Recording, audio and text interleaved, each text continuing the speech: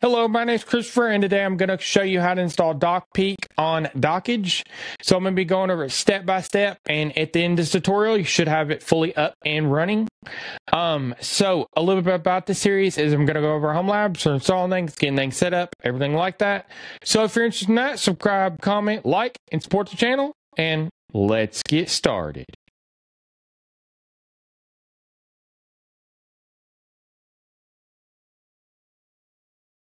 So this is what I'll be installing today, a Dock Peak. Um, it makes it to where you can have a simple dashboard showing do- Docker ports and clickable links.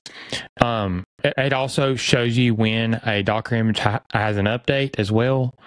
Um, this is the UI for it. So your cont- uh, containers, uh, your server, uh, your ports, and then the images, and then the status if it's stopped or running. You can search up here and you can see update available. Uh, if you want to, uh, you can to- uh, toggle it right here and you can check for updates. So this is what I'll be installing today on Dockge. So I'm going to start on Big Bear Video Assets and there will be linked on YouTube description to get to this. I'm going to go over the search and type Dock Peak. Now, uh, it'll be the one with Dockge and then DockPeek right here. So I'm going to click it and then I'm going to go into Docker Compose. So a, a, version 3 of Docker Compose file format's being used. I must uh, set some services, and the first service underneath the services is called Big Bear Docker uh, DockPeek. Um, then the container name is going to be called Big Bear DockPeek. The image right here and the uh, the registry is coming off of a GitHub because of the ghcr.io right here. And this is the Docker image. This is the Docker image tag. And then the container restart policy uh, is set to unless stop. So that means if you stop it for any reason, will not try to restart. But if it fails any other reason, then it will try to restart. And, and then we're going to have to mount our uh, a doc, uh, docker.sock right here. So it has access to, uh, to the Docker engine. Um, and it's able to, uh, to manage it, uh, the Docker. Um, so the environment variables, a secret key, and you can set one right here uh, the username and the password. And then now the port mapping. So on the host side is 3420. And then on the container side is 8000. Um, if this does collide w- with another port on your host, you can change it. You can ch- uh, change the left, don't change the right. Um, so I'm going to go over here to copy raw file. I'm going to click it and then I'm going to go over to my Dockge and get this installed. Hello, I just wanted to pop in here real quick and tell you how much I appreciate all my subscribers and also you watching this video. So, um, it takes a lot of time to make all these videos and also maintaining all the open source projects that go along with all these videos. So, um, like Big Bear CasaOS, Big Bear Video Assets, Big Bear Scripts, they all take almost daily maintenance. So, um, if you would, please consider donating. Very much appreciate it, and it helps me continue to be able to help as many people as possible be able to do all this. So, I uh, my goals in each one of these videos and each one of the things that I make is to make it extremely easy for anybody to do it, and uh, it takes a lot of time to make that ha- happen.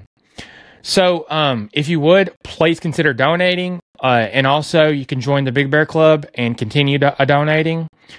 So, um, thank you very much. And let's get back to your vi- video.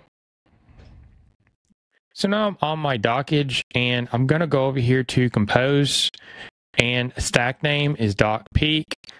And then I'm going to come over here to the editor and paste in what I explained over in Big Bear Video Assets. Now we can go ahead and knock out this version right here since it is deprecated. Um, so you can also edit in the UI. You can uh, come down here to the environment variables and you can set a secret key. You can say your username and your password. I'm going to go with the defaults. So now we should be good. So I'm going to go ahead and deploy it. And what that done is it download the Docker Engine registry, got extracted, and got it up with Docker uh, engine underneath. So now that should be good. So I'm going to go ahead and click on this port right here to go to the UI and see if it's working. So it is working. So we can go ahead and log in. I'm gonna just say Big Bear, and then um, it was Dockge. Now we are logged in. So that's how to get it installed on Dockge. So now I'm going to start on the homepage of Dockge and go over the UI a little bit. So active, exit, and inactive, uh, that's the status of the stacks. So I have two active stacks. You, you can come over here and you can click the stack. So now you see the actions up here. So edit, restart, update. This updates the current tag. It doesn't change the tag.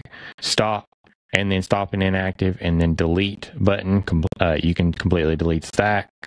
You can see the services in, in, the stack. So you can see the host ports. You can see the Docker image that, that this is using, and the do, Docker uh, tag, uh, the Docker image tag. And now if you go in here, you can go to bash and you can so go inside the container. You can also switch to SH. Um, I'm going to go back in stack. So you can see a console log down here. This is great for debugging. You can see a read-only version of the Docker Compose. You can also go up here to edit and click it. And now we have actions up here. So deploy, save the changes, stop and inactive, and then discard the changes. You can come down here to the input box and you can just add a service underneath the services and you can add an image. Um, so we did things from the UI over here and you can see it over here in the editor. It changed it. So you can uh, uh, uh, edit vice versa. Uh, environment variables, networks, internal and external, and URLs down here. So if we wanted to delete the service, we can just delete it right here and it's gone from the editor. So I'm going to discard the changes. So that's a little bit about the Dockge UI. So now I'm going to go to the UI. So I'm going to click the port right here, the, the host port, and go to it. So now you can search the cont- containers right here. So just go to Dozzle, and now, and now you see it. Um,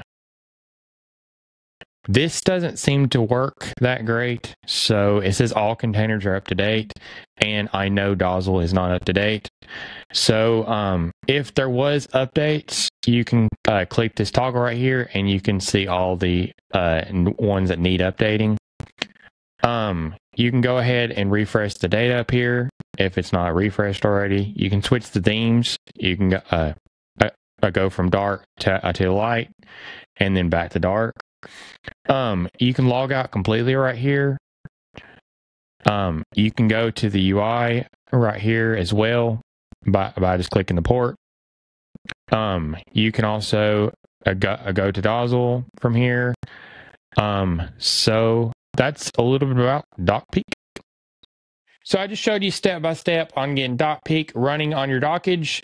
So if you like this tutorial, subscribe, comment, like, and support the channel. And if you have any video sessions or any community support, you can go down to the Big Bear community and join our forum. Uh, there's a link in the YouTube description. So stay tuned for more.